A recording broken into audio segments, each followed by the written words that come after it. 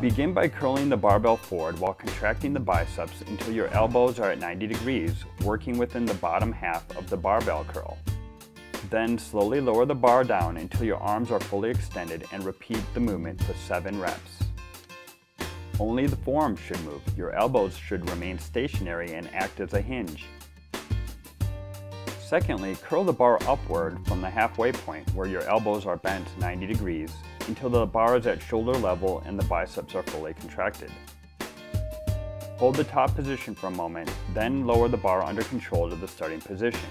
Repeat the upper range of the barbell curl for 7 reps. Lastly, continue the exercise using the full range of motion as you would a standard barbell curl. Repeat the movement for 7 additional reps, which then totals 21 reps for the exercise. Avoid swinging the weight or using momentum. Use pure muscle action.